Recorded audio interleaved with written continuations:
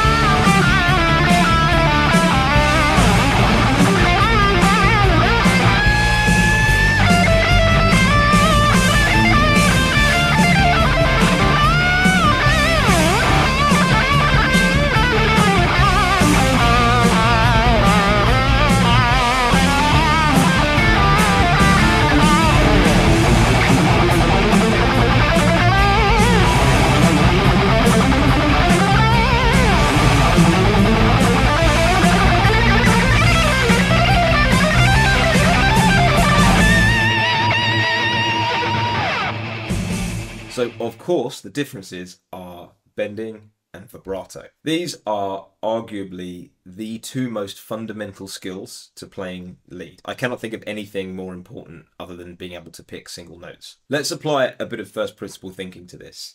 The lowest common denominator here is listening to what you're playing. This is what I was getting at earlier when I said every single guitar player can learn how to do this. This is not something that, you know, you have to have the hand dexterity to do really um, you know, or you have to have, you know, particularly good left and right hand coordination. Um, this is just being able to, um, you know, have the finger strength to bend into bend in tune, and that you can build up over time, and the ear for vibrato. There are some players out there with some phenomenal vibrato, and it comes in all shapes and sizes and forms. Look at anybody from, you know, Steve Lukather to Zakk Wylde, Brian May, Steve Vai. They've all got wildly different ways of approaching vibrato, and it all sounds great. Uh, with the style of music that they play. You think about Eric Clapton, his vibrato tends to um, detach his hand from the fingerboard and he kind of like shakes up and down. You look at Zakk Wylde and it's just an absolute. Steve Vai does very circular motion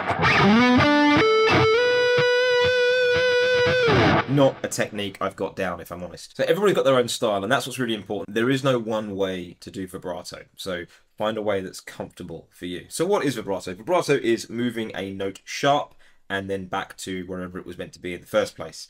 The amount that you go sharp by and the consistency of sharpness that you add will determine, I guess, the quality of your vibrato. So to to my ear and many other ears, good vibrato is um, even and consistent. It's an, an even pace. As time goes on, you'll learn to time your vibrato with the music that you're playing, which is a really nice thing to be able to do. If you think about a note, you're hitting a note, say you're hitting a D, a D note, and you're going to vibrato it. You're going to come up above the pitch of D and then back down again and then up again, but you come up to the same pitch that you came up to the first time. You do that by moving the string. There's a number of ways that you might want to approach this. Um, the way that I do it depends on where my hands are positionally. I really like vibrating with my first finger because I can kind of... I can get to it nice and easily. Um, and it also means I can come down, which just just because of the you know the, the angle of my finger the you know this inset of my hand here and my thumb it means i've got a really good pivot point on the neck. Um, similarly you know it might be that i do it with my third finger. The point is over time i've learned to uh, apply reasonable vibrato with every finger. And i was not always good at this. If you i don't know if they're still online but if you go back to some very old videos of mine you'll see some really horrible shaky vibrato that was kind of like this.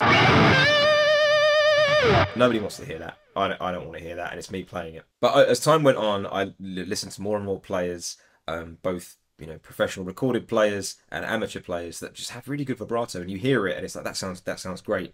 You then start to look back at your playing more objectively, and you start to listen to what you're what you're actually playing, the music that you're making. One of the best tools for doing this is to record yourself, whether it's on your phone, whether you have a fancy recording set up at home, it doesn't matter. Um, some something where you can set up some form of you know way of recording what you're what you're playing and listening back to it, but listen objectively. You know, pick holes in your own playing. That's the most important thing. Pick holes in your own playing. Um, and you'll learn to hear like okay that was that was a horrible bit of vibrato because I vibrato sharp. So if I want to add vibrato to that same D note I don't want to be doing this. As I hope you can hear that's very out of tune. So I want to come up to the note and I want to be nice and smooth. Let's take a really simple three note phrase and play it with no vibrato pretty dead, right? And when was the last time that you heard somebody, you know, on a on a professional record or a you know a great player at a live gig play like that? So let's add some vibrato. Instantly, that phrase gets spiced up. It becomes musical. It becomes listenable. It becomes more than just three notes. That's what you're always aiming for. And you can still be smooth and aggressive.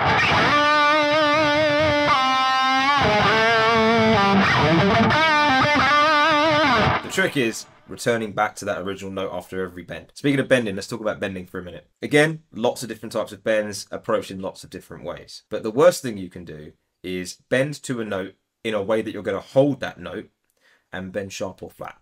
Sometimes you want to bend sharp or flat, grace notes, passing notes, micro bends, that kind of thing. I use those all the time, as I'm sure many other people do, and they are a really important characteristic of playing. If you're bending up to a note with, it, with the intention of holding that note, that note needs to be in tune. So let's take an example. Uh, let's go back to that D note again, and I want to bend up to D. I can hear that was the right note. And I can hear that because I spent a long time listening to myself playing. And I can feel, I can feel when it's in the right place.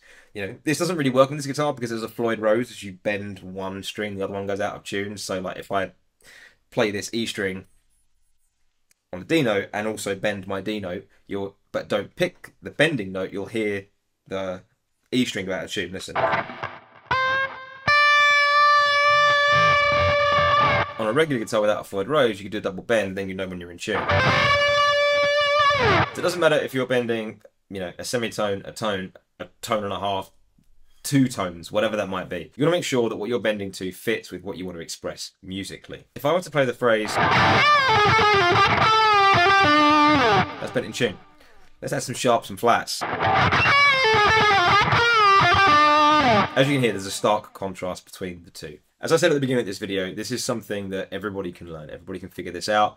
Everybody can listen. You've got two ears for a reason. Listen back to what you're playing.